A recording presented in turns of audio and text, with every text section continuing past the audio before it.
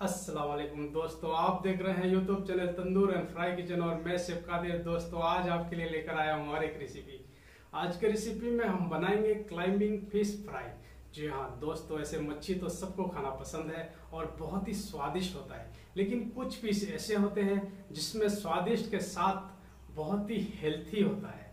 तो जी हाँ दोस्तों, आज का इस रेसिपी बनाएँगे हम।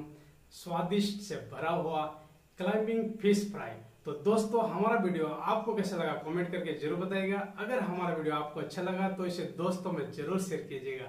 और हमारा channel Tandoor and Fry Kitchen को लाइक और सब्सक्राइब ज़रूर कीजिएगा। ये देखिए दोस्तों, हमने बिल्कुल फ्रेश मच्छी लिया है और ये इतने आसानी से मार्केट में नहीं मिलता है। अगर आपको कहीं मिल जाए तो इस मच्छी का स्वाद ज़रूर लीजिएगा। इस मच्छी खाने में जितना स्वादिष्ट होता है, इसे साफ़ करना उतना आसान नहीं है। बहुत ही फिसलन भरी मच्छी होती है और बहुत ही केयरफुली से इसे कट करना पड़ता है। और ये देखिए, हमने इस सारे मच्छी को अच्छे तरीके से साफ़ कर लिया है। बिल्कुल बढ़िया से इसे साफ़ करना पड़ता है और इसके लिए कुछ खास मसाला ले लेते हैं। चलिए। सबसे पहले कुछ मसालों को हम ग्राइंड करेंगे, पीस लेंगे और इसके लिए हमने लिया है one and half tablespoon राई दाना मस्टर्ड सीड और तीन रेड चिली ड्राई जिसे हमने वन फोर्थ कप वाटर में वार्म वाटर में सोख कर रखा है, भिगा रखा है और 10 से 12 कली गार्लिक के। तो चलिए, एक मिक्सर जार लेते हैं।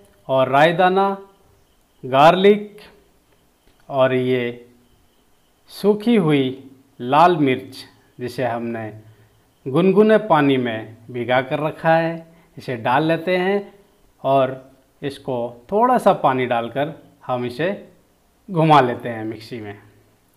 ये देखिए, अभी हमारा मसाला बिल्कुल रेडी नहीं हुआ है। ये सारे पानी हम इसमें डाल देंगे। हमने इसमें वन फोर्थ कप पानी पूरा यूज़ किया है और इसे एक बढ़िया सा स्मूथ सा पेस्ट बनाकर तैयार कर लेंगे। देखिए, बढ़िया सा मसाला बनकर तैयार है। इसे एक बोल में निकाल लेते हैं।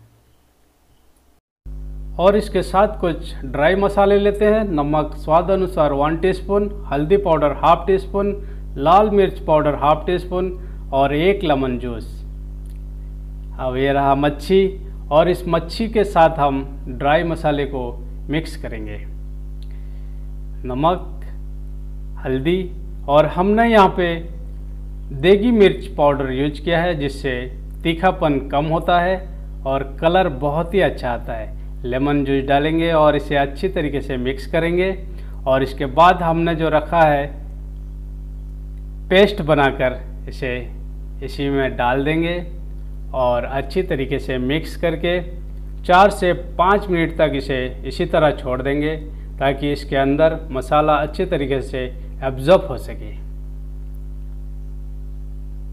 एक तवा बैठा लेंगे गैस पे और हम यहाँ पे मस्टर्ड ऑयल यूज़ करेंगे।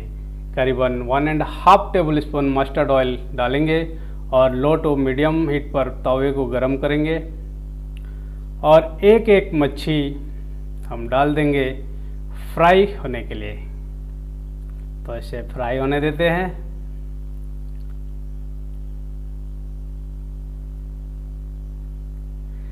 करीबन आठ से दस मिनट हो चुके हैं। इसे हमने दो से तीन बार स्लो फ्लेम में घुमा घुमा कर फ्राई कर लिया है। बिल्कुल गोल्डन कलर हो गया है।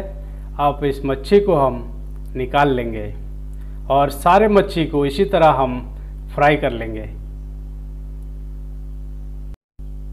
बिल्कुल गर्मा गर्म फ़िश फ्राई हमारा बनकर तैयार है सर्व होने के लिए। इसके ऊपर थोड़ा सा गार्निश कर लेंगे।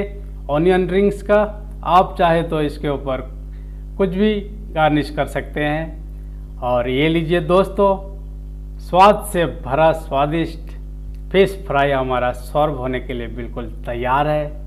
तो दोस्तों, आप भी अपने घर पर इसी तरह फ़िश फ्राई बनाइए और अपना अनुभव हमारे साथ शेयर कीजिए।